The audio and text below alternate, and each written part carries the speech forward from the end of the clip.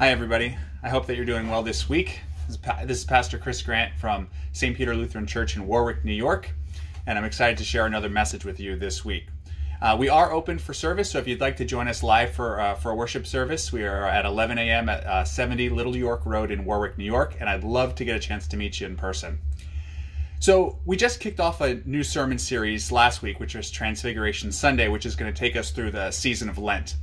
And the series is titled can I get a witness? And the series verse is Acts 1 8, which is, You will receive power when the Holy Spirit has come upon you, and you will be my witnesses in Jerusalem and in Samaria and in all Judea and to the ends of the earth. And each week we're looking at the gospel reading to see what it tells us. What does that gospel reading for that week tell us about what it means to be God's witness across all different areas? So, in the first message, we looked at the significance of what we are witnesses to the glory of God revealed to Peter, James, and John at the Transfiguration. A God who is in complete control, whose brightness is able to cover the stains of our sin. And when we stand in front of the judgment seat, we are witnesses of the God who is able to cover over all those stains with his bright whiteness. Even if we personally only witness him in a concealed form, it is that God of glory that we are witnesses to. This week we are looking at Matthew, or sorry, Mark 1 9 to 15 focusing just on the verses 14 and 15. Mark 1 14 and 15, which read Now, after John was arrested, Jesus came into Galilee, proclaiming the gospel of God and saying, The time is fulfilled, and the kingdom of God is at hand. Repent and believe in the gospel. Relieve the good news. Now, in these two verses, there's a bit of a changing of the guard happening. The public ministry of John the Baptist has come to an end as he's been arrested, and Jesus is now beginning his public ministry. So to set this up, I want to talk about something. I want to talk about the power of words. The power of words. There are many kinds of words that we can give to somebody in terms of a, a, sentence that we can say. There are words of advice, you know, telling somebody what they should or shouldn't do. There's words of correction, you know, looking back and saying maybe you shouldn't have done that. There's words of information, you know, here's something that has happened or something that will happen, and, and we can learn from those informative words. There's words of warning to say, don't do this, or if you do, bad things will happen. Words can guide, they can insult, they can describe, all kinds of things. But there's actually an even more powerful kind of word than these that I've talked about. Some words are actually able to create reality, creative words that actually change circumstances. You might say, how do words change circumstances? How do words actually change reality? Well, a silly example would be um, at a previous church I served, I was uh, part of the leadership of a youth group, and we used to have dodgeball games. And I would stand on the side, and all the kids would be on, you know, half the kids would be on one side, and half the kids would be on the other side, and they'd be all wait for that one word, and that word was go. As soon as I said go, there was a dodgeball game. Up until that point, there was no dodgeball game. If somebody else said the word go, maybe a few kids would run out and then they'd have to go back because the word go was not spoken by the person who was in control. So as soon as I said go, that word actually created reality. It created a game. Another example would be a judge. A judge gets handed a piece of paper, but that judge actually, his words actually create the, the reality of a conviction. When that judge says guilty, it's not just information. It's not an FYI guilty. It actually creates the reality of a conviction and everything that comes with it. Another one would be at a wedding. You know, what is what are the words that everybody is waiting to hear at a wedding? It's not the vows, it's not the beautiful music. No, it's the words. What are they they're waiting to hear? I now pronounce you husband and wife. And a marriage is actually created by those words. The before that happens, the bride and groom are look at each other like waiting to be married. And as soon as those words are spoken, I now pronounce you husband and wife the marriage is actually created. See, in each case, go, you know, with a dodgeball game or guilty or I now pronounce you husband and wife, those words actually create reality. Some words actually do this. And there are a few common characteristics of the people speaking these creative words. In each case, the person has the authority, the power, and the ability to speak a new reality into existence. Now, this is how God has worked throughout history using words to create new realities. Uh, of course, if you know the, the beginning of the Bible, Genesis 1, God spoke into the chaos and, uh, and wilderness, saying, let there be light, and there was light. His words actually had the power to create physical reality. There was a pattern. There was a reality, a previous reality, words spoken, and then a new reality. There was nothing, let there be light, and then creation began. He had the authority and power to create the universe. That's a lot of authority and a whole lot of power. Another example in Mark 2, verses 5 to 7, Jesus says to a paralyzed man, Your sins are forgiven. And then it says, Now some teachers of the law were sitting there thinking to themselves, Why did this fellow talk like that? He's blaspheming. Who can forgive sins but God alone? Again, you have this reality of a man in sin, and then a word spoken, Your sins are forgiven, and then a new reality created, a forgiven man. So now, coming back to our text for today, Jesus went into Galilee proclaiming the good news of God. The time has come. The kingdom of God has come near. Repent and believe the good news. That's what he says. Repent and believe the good news. He spoke, speaks that to the people. Now, what kind of word was that when he spoke proclaiming, repent and believe the good news? Was that a word of guidance? Was that a word of information? A word that is describing reality? Was Jesus saying, it is my suggestion to you that you repent and believe the good news, or my advice to you, or, or in case you were curious, one of your options is to repent and believe the good news. I don't think that's the type of word Jesus was speaking. When Jesus said repent and believe the good news, it was not just an FYI or a suggestion. It wasn't a pretty please request. It was a creative word, a word that created faith in people who heard it. It was a word of power. The power and glory of God that was revealed in the Transfiguration is at work in his words repent and believe the good news. And see, that powerful word is a word he's entrusted to the church. That's an awesome responsibility to be entrusted not just with an informational word, not just a word that describes something, not a word of advice, but a word that creates reality, that creates faith in lost people. A word that strengthens faith to Christians. That's a big responsibility that God has given the church to be entrusted with the power of that creative word. See, when I was called to be pastor to St. Peter, I was entrusted with this creative word on behalf of the faith community that we have uh, during our services. And that's a big responsibility. Someone, obviously, one I take seriously to proclaim God's word faithfully, to preach his message accurately, and to live in accordance with that word. It's a very important word that God has given to the church.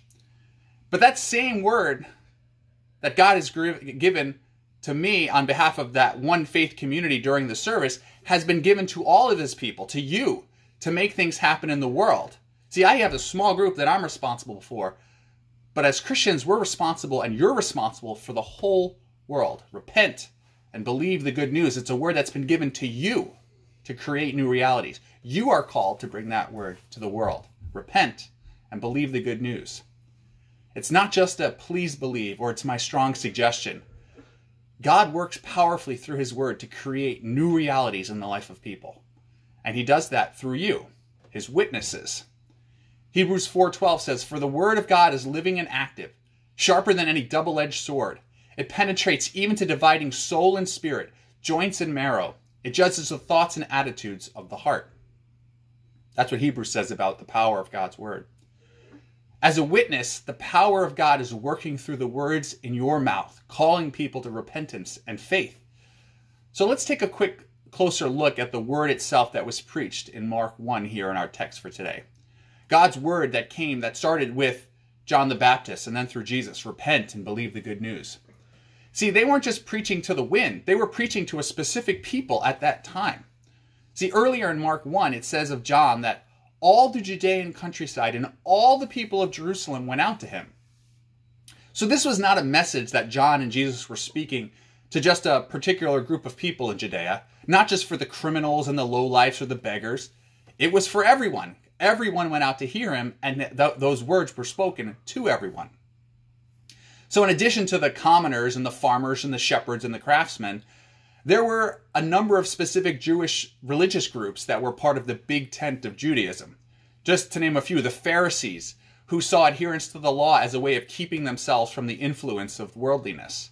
Or the Zealots, who hated, their, hated that their land was occupied and influenced by Rome and used violence to try to gain political freedom. or the Essenes, who withdrew from society into separate communities, kind of like monks. These groups and all the other ones came to hear John and Jesus preach the message repent and believe the good news. All of these people came to hear a message that was intended for them, not just the criminals and the lowlifes. Many of you have heard this before, but to repent means to change your mind. In first century Judea, the fact that the word repent was for every, that was for everyone is interesting. It was not just for the worst of sinners or the foreigners. It was a word for God's people, even the most religious, the Pharisees, the Essenes. Repent, turn away from your sin of mind, sin of deed. Turn towards God. And there's a message in there for us in the church. See, for some people in the church, they see repentance as a moment. It was the time when they turned away from their sin and their old life and received Christ. And from that point on, they're no longer sinners. Their repentance is done. They have already made the turn. See, this is dangerous thinking. The problem with the Pharisees was not that they were sinners. Everyone is a sinner.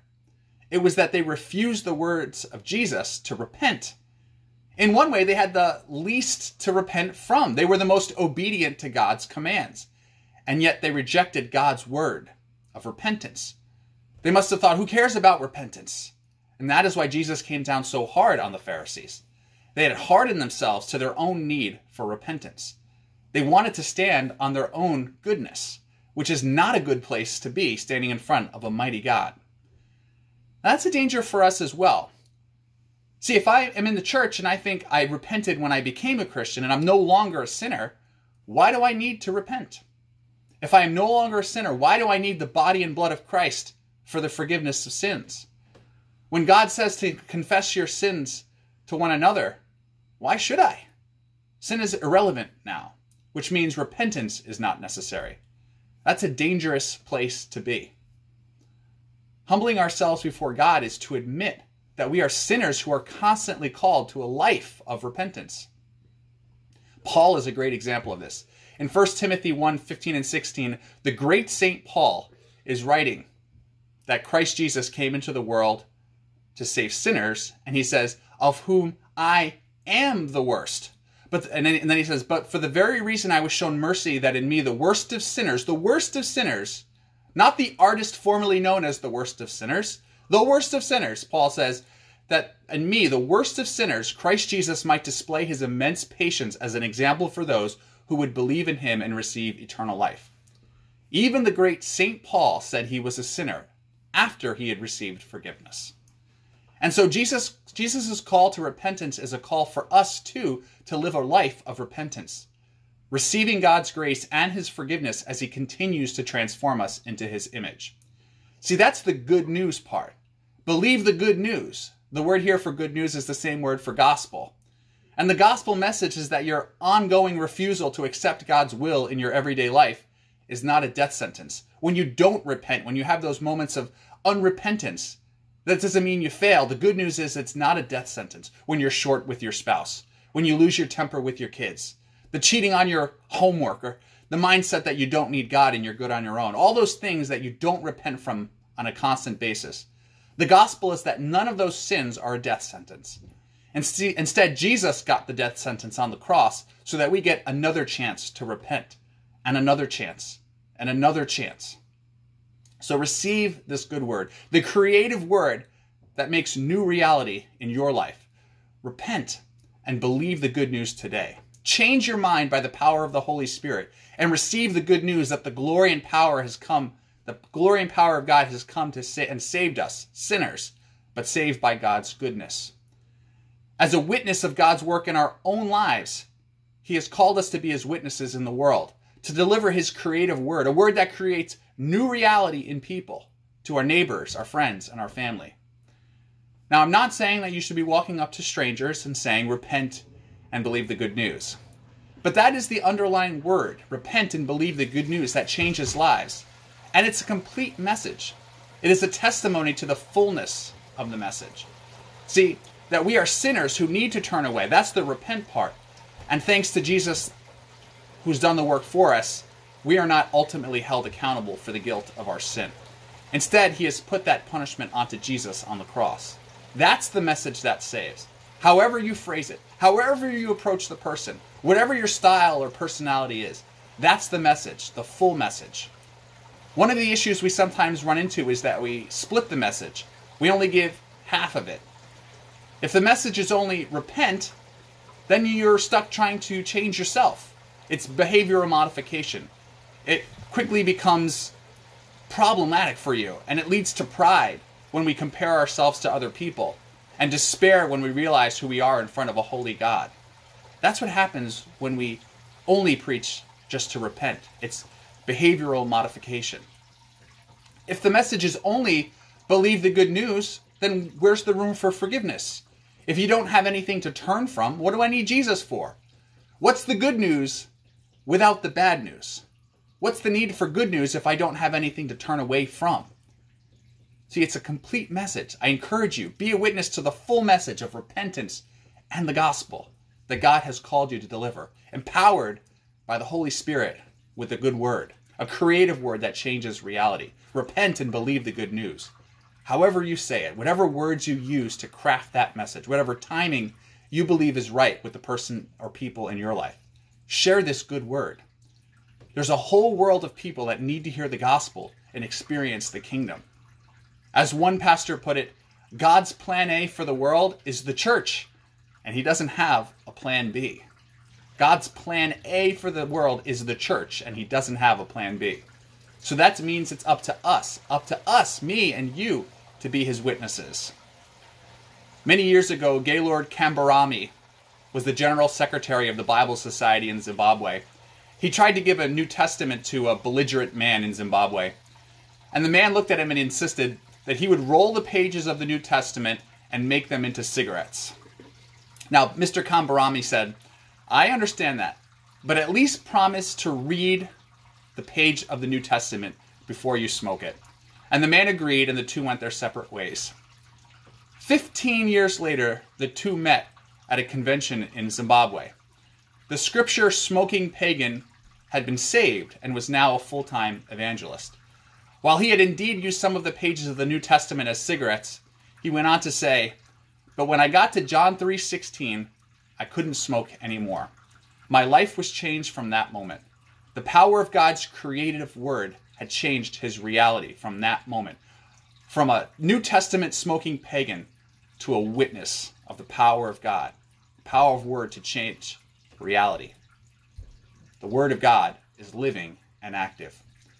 As God's witnesses, we are charged to take that same word that changed the life of that man in Zimbabwe and changed our lives, repent and believe the good news, and take that message into the lives of others, trusting that God is working through his word to create new realities in people, saving lives, changing hearts. And in doing so, that is how we become and we actively are his witnesses. Amen. I pray that the message of, of God's ability to change our hearts, but then the, the call that He's put on our lives to be His witnesses in the world would take new hold of us this week. Amen.